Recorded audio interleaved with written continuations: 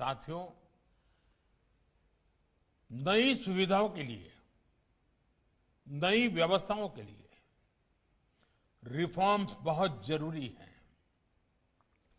हम पिछली शताब्दी के कानून लेकर के अगली शताब्दी का निर्माण नहीं कर सकते जो कानून पिछली शताब्दी में बहुत उपयोगी हुए, वो अगली शताब्दी के लिए बोझ बन जाते हैं। और इसलिए रिफॉर्म ये लगातार प्रक्रिया होनी चाहिए।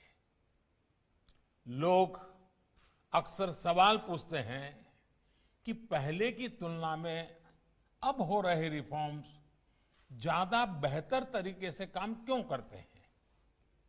पहले की तुलना में अब अलग क्या हो रहा है?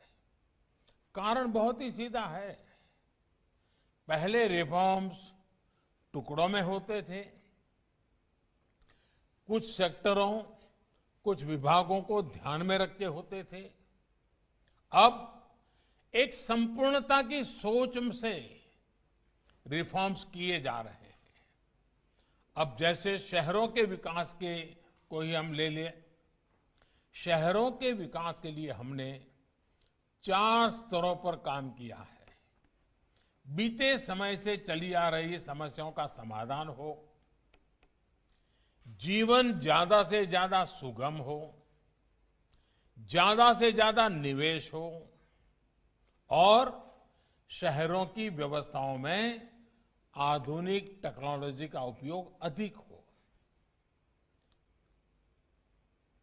भाइयों और बहनों, ये जो रिफॉर्म्स बीते कुछ समय के लिए कुछ समय से किए जा रहे हैं, उनसे देश में नया आत्मविश्वास आया है।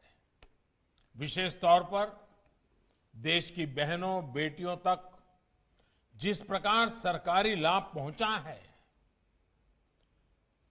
वो सचमुच में, अगर बारीकियों में जाएँगे तो आपको भी संतोष देगा।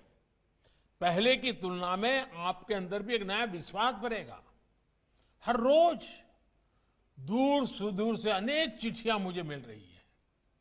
मीडिया के माध्यम से बहनों, बेटियों की भावनाएँ मुझ तक पहुँच रही है। माताओं, बहनों के इसी आशीर्वाद से मैं स्वाकई भाव विभोर हूँ।